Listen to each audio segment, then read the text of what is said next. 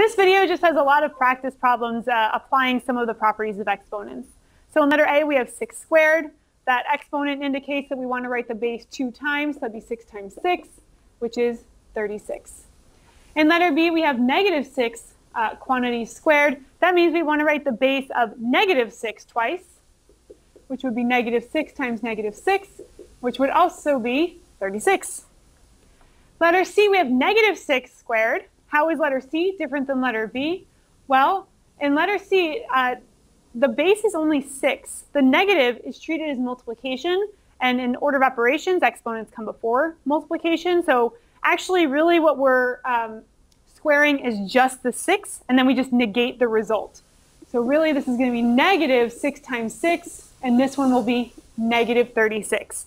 Again, in order of operations, exponents has priority over multiplication, and that negative is treated as multiplication. So this one should be negative 36. In letter D, we have negative of negative 6 quantity squared. So this time we're squaring negative 6, but that negative is still out in front. So we have this negative out in front, and then we have negative 6 twice. So we have three negatives, which means the product will be negative, and 6 times 6 is 36. In case you haven't had enough of uh, base 6, we have 6 to the negative 2. That negative exponent indicates we're taking the reciprocal of the base. So we would rewrite this as 1 over 6 squared, or 1 over 6 and then in parentheses quantity squared. Um, this is probably going to be a little bit nicer to do. And then we can simplify 1 over 6 squared as 1 over 36. Notice that a negative exponent does not affect the sign of the base. If the base is positive, it's going to stay positive.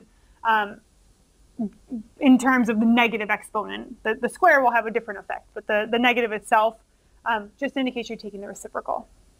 Here, letter F, we have negative 0.4 or negative 4 tenths quantity squared. That's negative 4 tenths times negative 4 tenths. 4 times 4 is 16. 1 tenth times 1 tenth is 1 one hundredth. And negative times negative is positive, so it would be 16 hundredths or 0.16.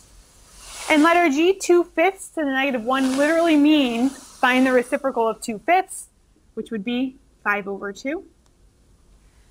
In letter H, we have negative 1 seventh to the negative 1. That literally translates to find the reciprocal of negative 1 seventh. That would be negative 7 over 1, which is just negative 7. Again, this negative stays because when we take the reciprocal of a number, the reciprocal has the same sign as the number itself. Letter I, 2 fifths squared, so we want to distribute the exponent. So that would be 2 squared over 5 squared, which would be 4 over 25. Here we have 2 fifths to the negative 2. I would deal with the negative part of the exponent first. So that negative indicates it wants the reciprocal of the base, and the reciprocal of 2 fifths is 5 halves. And now when I write this, it's going to be 5 halves squared, because I haven't yet dealt with the, the 2 part of the exponent.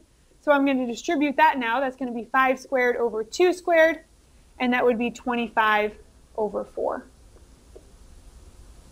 In letter K, we have 12xy to the 0. And the answer here is 12x.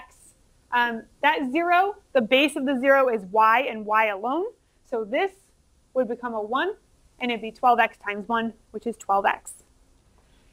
In letter L, 2 fifths x to the 0. So this time we're raising 2 fifths x to the 0 power. Here the entire answer would be 1.